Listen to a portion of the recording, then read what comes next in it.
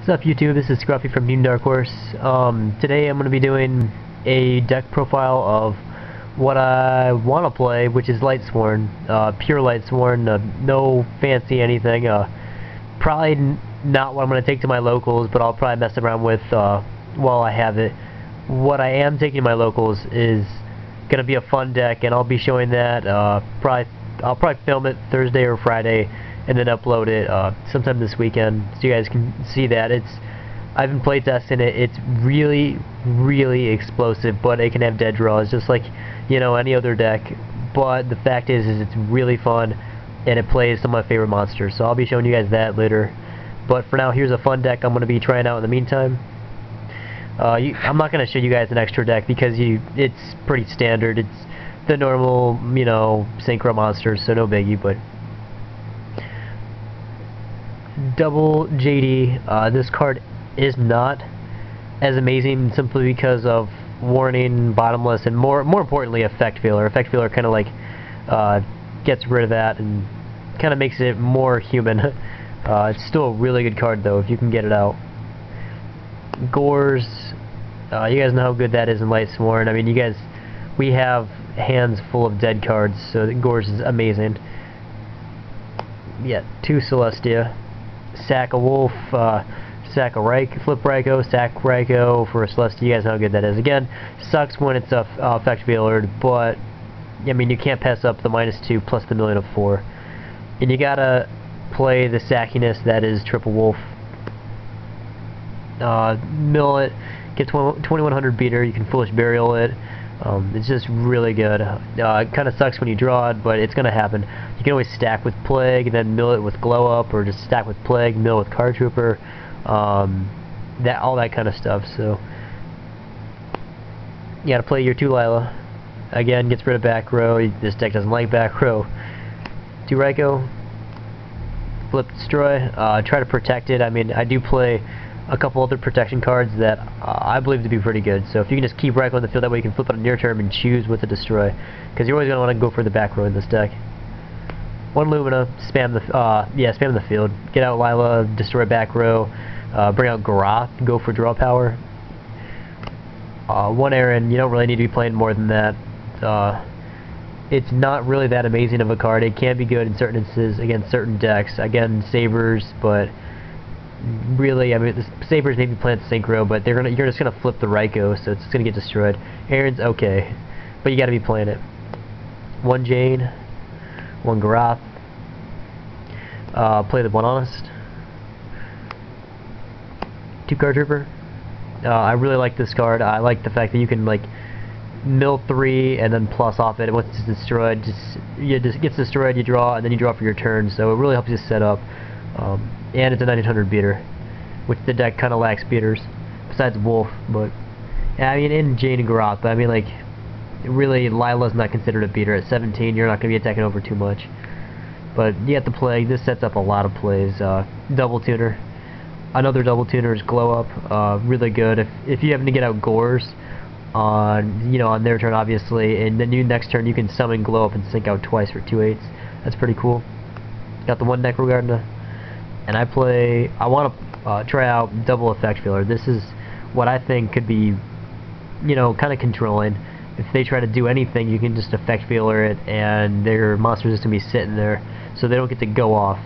Uh, the best part is you can beckoning light Effect Veiler. Uh, I mean, if I'm playing two, I'll be drawing into it or milling it way more often, so I have easier access to it, so I can keep controlling. Because once you have JD on the field and you have not gone for game yet, you kind of need that Effect Veiler to make sure they don't regain advantage. Okay, now on to spells. This is a 42 card deck, by the way. Um, that's 24 monsters. I'm pretty sure, yeah. Gonna be playing the triple solar recharge. Uh, kind of the huge draw power of the deck. You can be playing this. I know it's kind of bad. I need new recharges. I'm gonna get ultis at some point. Um, but yeah, great draw power. One charge, I'd be playing it. Uh, usually, I mean, like, it really depends on the situation and what you're going to search. There's no herp way of playing that card. I mean, unless it, your target that you want to get gets milled, but I play two duality. To be honest, if I had three duality, I'd be playing three. Uh, Lightsworns really need the consistency, and you're not really going off as you know turn one or turn two as much as you think you would. You really need a duality into the recharge or the target that you or the JD that you need to go up next turn. I mean, duality really helps the consistency of Lightsworns. Uh, I play double gold sark. Uh, again, this gets you your, I mean, your JDs, your uh, shoot, your Gorz, your solar recharge, anything to speed up the deck really. A pot of avarice to send everything back. Uh, just to make sure it doesn't get milled. Yes, You got your foolish. You can foolish your uh, your necro, your glow up, your plague, your wolf. Usually your wolf, so you can sack it or do something. But good card. Pot of avarice helps put everything back. I mean, just things like uh, honest could go back. Uh, obviously, Effect Veiler, definitely JDs and Gorz. You want to be drawn into those, not milling them. But this helps bring it back. It's played over monster reincarnation. Uh, mostly because monster, re yeah, monster reincarnation can be a minus and Avarice lets you put more targets back, which I like. It gives you your draw power. Trunade push everything back. Reborn staple, Dark Hole staple. And that's it for spells. For traps, gotta be playing the double beckoning light. Just it sucks. This card is not that good. Uh, this format, or even towards the latter in the last format, because everyone's playing seven tools. Pitching the cards is a cost. So if you play this and it gets seven tools, you're SOL. So I mean that's why I kind of don't really like this card. Um, but you got to be playing it, sadly. I'm not just to play, you know, triple avarice or avarice and two reincarnations, just bad. This uh, does help you a lot. Obviously, if they attack into your Lumina, you can play Beckoning and bring back your Honest and then play Honest during the damage step. So, I mean, it's still a good card. But just watch out for 7 tools. And then Double Warning. Uh, it stops way too much of the meta. I would play it in pretty much everything. Besides maybe like Fish OTK, but yep, that's four cards, so that's a 42 card deck. Things I'm not playing, uh, if you guys are wondering, um, well, why not Torrential, Mirror Force, stay with their stable back row. Basically, you want to be going off as soon as possible. That's why I play, you know, so many draw cards and search cards. I play, obviously, the double Sark, the two duality, which I would be playing three, the charge, the solar recharge. I mean, like, there's a lot of draw power to make sure you get what you need fast because you want you don't want to have your dead draw sit in your hand for too long. Um, I guess that's the main thing. Other things, I, I mean, what else am I not playing? Uh, no Book of Moon, that's not needed in here, especially not with Double Veiler. You want to be playing this out of your hand anyway. You don't set Book of Moon, it's just going to get MST'd. And that's another thing. I mean, like, the less traps you play, the more dead their cards are going to be, so they can't 7 tools or MST if you don't have, you know, more back row, which is another reason why I'm not playing Royal Decree, because it's just going to get MST'd.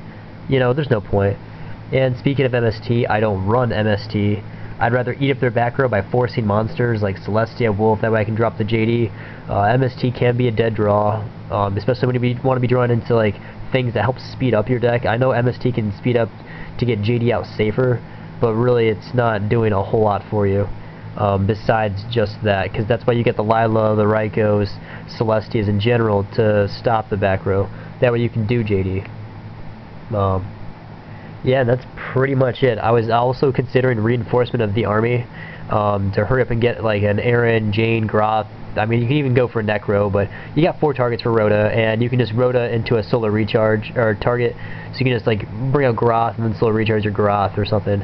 Um, it's a deck thinner, but it's for I take the deck. The deck is 41 cards, and that's why I'm not playing it. I've considered double MST in here to make it 43, but really you want to have the deck uh, around 40 to 41 because you got triple wolf. You won't want to be drawn into the wolf, so keep that low, uh, but not too low.